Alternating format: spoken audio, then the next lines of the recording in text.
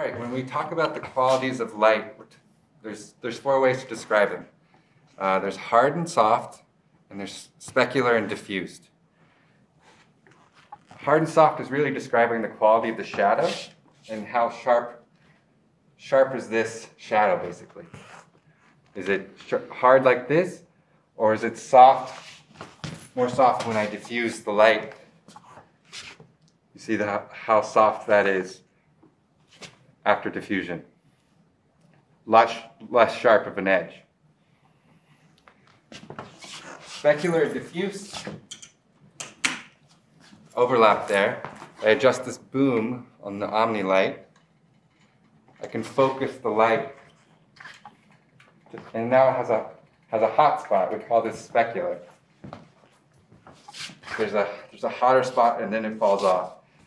If I put the silk back or I diffuse it with a gel or use this focus boom and make it more even, this is this is called diffused. And this is actually just describing the, the, the fall off of the light itself.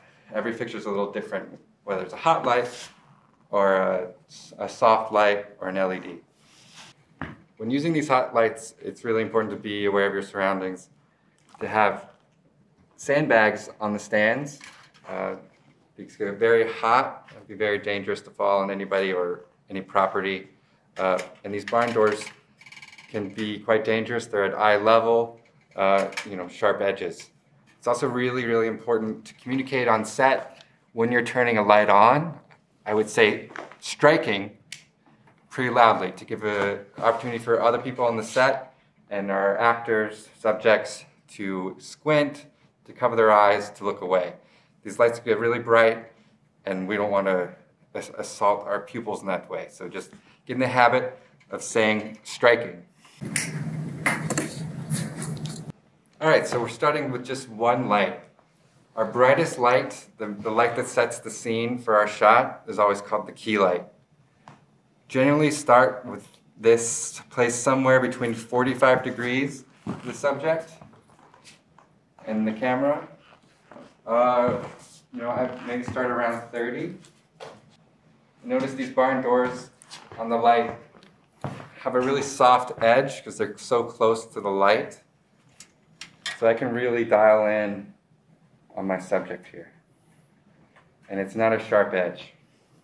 All right, now we're gonna add the second light, so a two point setup. Uh, this is gonna be our fill light. And like I said before, with the reflector, the goal is to just knock down any distracting shadows and uh, give us more information about the scene, about our subject, uh, make it a little bit softer. This is generally diffused, but it doesn't have to be. But because we're trying to knock down shadows, we want a little bit softer. This is not diffused yet. I'm going to say striking.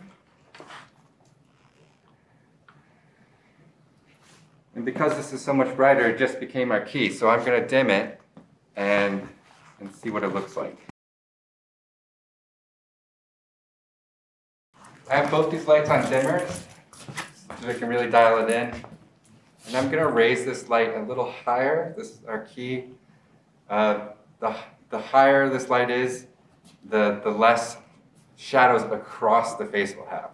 So I'm just going to make it a tiny bit higher. Yes. a little bit lower on the fill.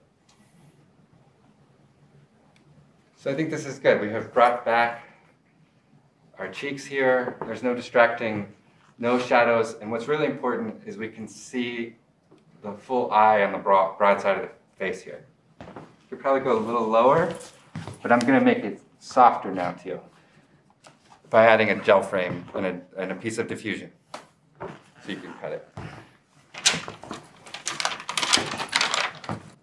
So I'm going to make this Toda uh, more diffuse by adding diffusion. This is effectively making the light bigger. It's a, a bigger source by spreading the light across the surface. See the whole surface lights up there? So I'm going to clip into this frame and then slide it on.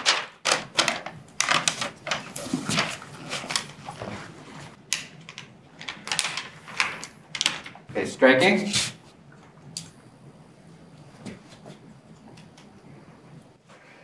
Now the light on this side is a lot less hard and just defines a little bit more shape. It's softer as it wraps around our subject. So I'm noticing that in our image here, he's kind of blending in to the background. There's not a, an edge here. Uh, see, we're losing the hair, a little bit of the shoulder. So now we want to add another uh, backlight for three point. Um, before I do that, again, I'm just going to try adding a reflector first. So I can get some on the shoulder and neck here. I'm having a little hard time with the hair. So I'm going to add that last light. So I have this LED back here. Unlike the tungsten lights, this does not get hot and I can dim it on its own. So striking. It's quite bright. I'm going to dim it down. It's also the wrong color temperature, so I'm going to put an orange gel on it to make it the same color as our tungsten lights.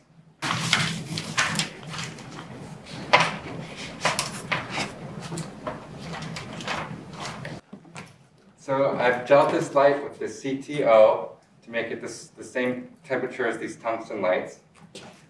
I've also added some diffusion just to knock down the light a little bit.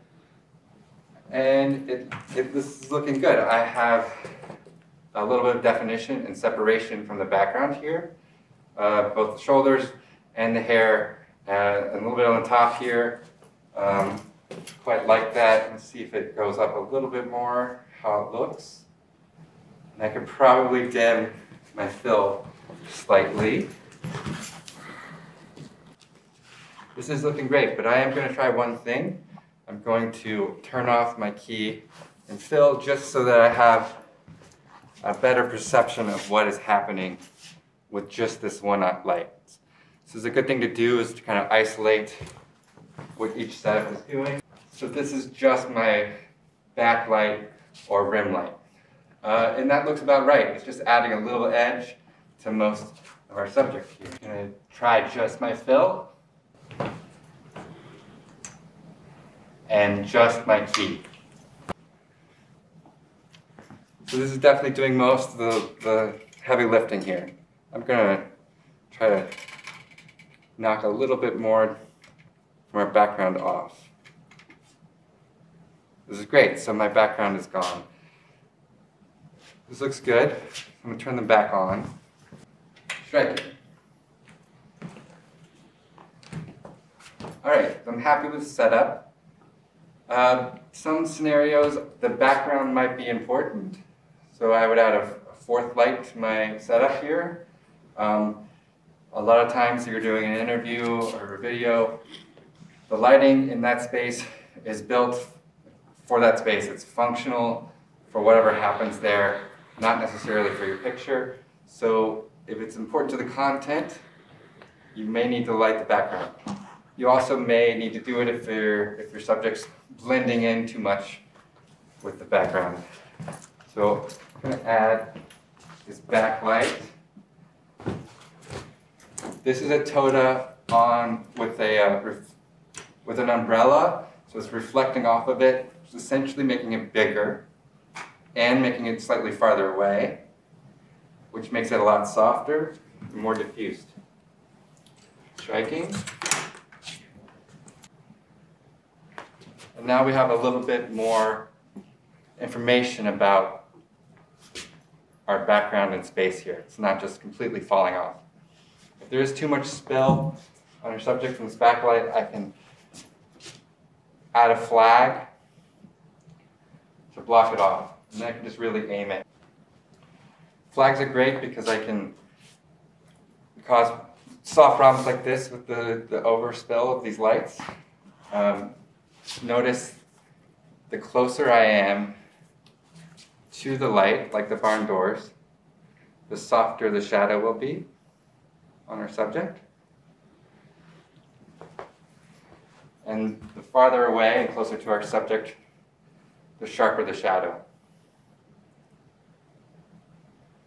So if I wanted to get dramatic, have sharp lines, I need to be able to position this closer. And I can put this in place with a C-stand. This is a C-stand. It's an extra arm on our set here.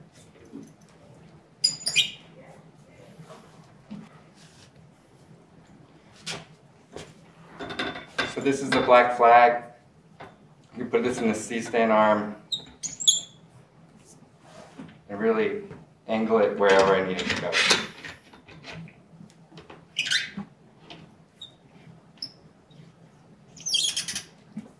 Okay. Hmm. That's a four point setup. So this is an example of a motivational light. We have this scene with daylight in front of a window.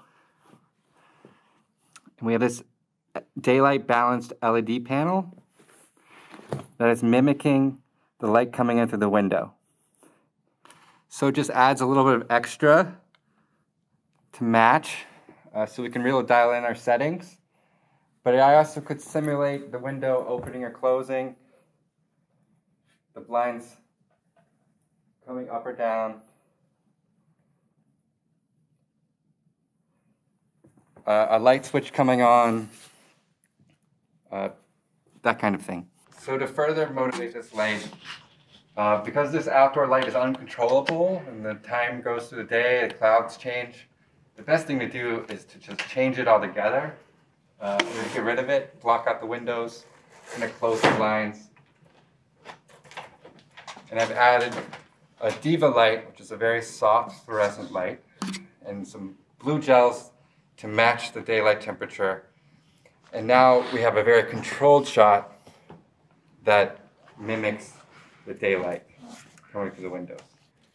So this is just a little mini LED panel, uh, battery powered, can fit straight onto the camera, uh, popular in the video vlogging world. Uh, but it's great for just catching a little bit of life in the eye.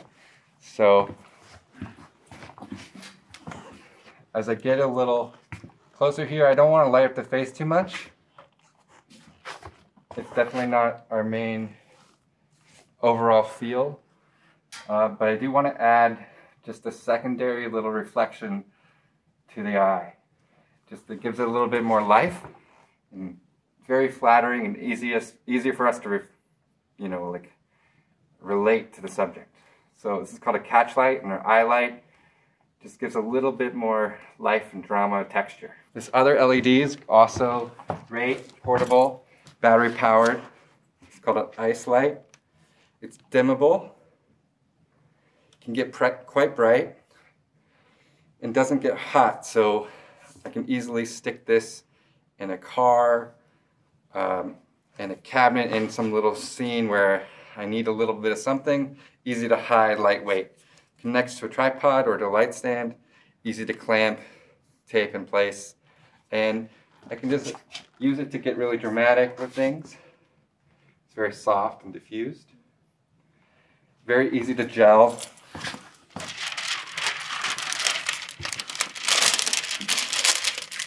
So I can get more creative effects.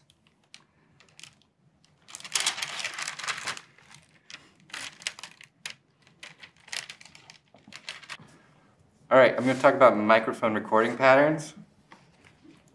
It's a shotgun microphone. It's a hypercardioid, so it means it's, it's heart-shaped, uh, but very pointed, very, very specific. This one's extra long, so it's hyper. Uh, this is great uh, for location sound, recording actors, pointing it at them.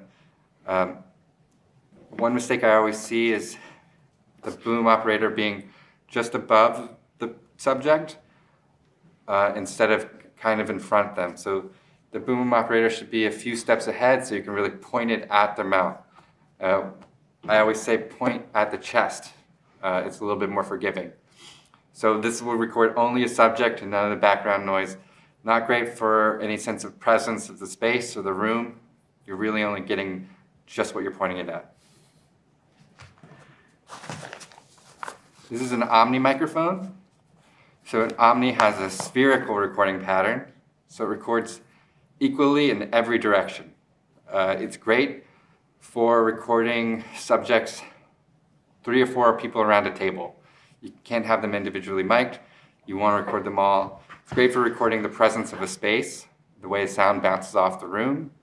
Uh, bad for rock bands, bad for uh, specific dialogue scenes because you're really getting the whole room and not just what your focus is. Sort of in between is a cardioid mic. Looks very similar to the Omni, but it is heart-shaped. Uh, won't record anything this direction, only in this direction. Uh, great for music, uh, great for journalism, interviews, uh, more forgiving than the shotgun microphone because it records everything equally all around in this direction. All right, let's look at our Zoom recorder. Zoom has built-in microphones or stereos, two of them. It's great for recording with bass, uh, kind of the dynamics of it, the feel for a room. Uh, that's a good thing to record room tone with. 10, 15 seconds, you can record and post, give you the sense of space to add in with your dialogue. Uh, some quick settings that sometimes people trip up on. You want to make sure it's recording the right rate and, and depth. Uh, so we click this Wave MP3 button, far right. We'll get a menu. And we always want to make sure it's on WAV format instead of MP3. WAV is not compressed. It's higher quality. The 48 hertz is how often it's taking a recording from the microphone. 48 is very great for most things. Uh, if we were doing Foley and sound effects, we might up that to 96, so double it. And that's just further down.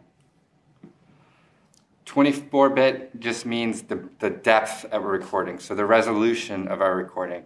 24 is, is pretty good quality and uh, way, way better than what our cameras can do. So just always make sure it's 48, 24. I can get out of that. Uh, one other common mistake, eh, if I go to the menu and go down to input, in the second page, there's a thing called phantom power. This supplies power to our shotgun microphone. And a, a, lot of times you think you've plugged everything in and it's not working. Uh, it's because this, this needs a little bit of power. Now these can get powered with a, a single AA battery, and it's always best to do that when possible. It allows us to record for longer on our Zoom. Phantom power is often described as plus 48. So if you're ever having issues, just remember phantom power plus 48. Do I need it on or off? These other microphones do not need it, just the shotgun. And then the last thing on here is our, when we're recording the Zoom, notice there's no levels right now. If I hit the record button once, it's flashing. Uh, I'm on the, the mics built in, and I'm getting levels. I am not recording. This is a common mistake. In order to record, I need to hit it one more time. And notice there's time code at the top here. And now I know I'm recording. I'm to stop that. It's really important to use headphones when using a Zoom uh, so we can tell what's happening. But you can't trust your ears. You need to look at the levels. For dialogue, we want our levels to peak at around negative 12. You can see there, screen lights up. We want the dialogue to, to be there or just above. We don't really want to go past like negative 8. That way we have some headroom if our actor changes their volume. Sometimes they get quieter, sometimes they get louder as they go. So just make sure you write those levels and you reference them. On this side is the volume for our headphones, and that is not affecting the level that we're recording at all. The recording level is on this side. So we can go up or down. It's a little loud for me how close I am to the recorder. And wireless lav, the last type of microphone. This allows us to broadcast our mic through radio, uh, and it has a little lavalier clip here. You can put it on. This is great for interviews where you don't want to have a bunch of wires around. Um, maybe a shot that's really wide and you can't have a boom pole there. Uh, this is either an Omni or a cardioid mic, so when it's clipped, it can pick up closed noise if you're moving. It's an action scene. Uh, you'll probably hear a lot of noise, uh, which is not great. Ideally, your subject is not really moving very much. It's still worth having that microphone because we can match it in post. Uh, maybe we're going to add that sound back in in post. Uh, we'll do voiceover. Uh, or we just need it for syncing picture and another soundtrack later.